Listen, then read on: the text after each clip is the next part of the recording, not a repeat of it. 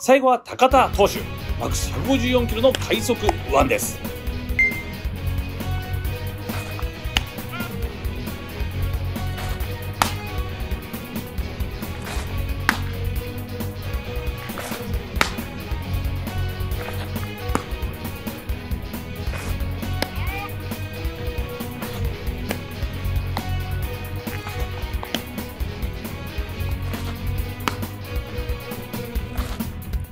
前までは普通のカーブだったんですけど、PJ。PJ。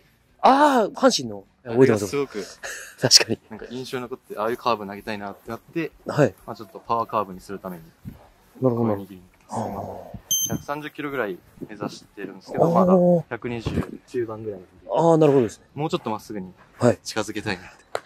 新加入 NPB トリオに国産 TV が挑む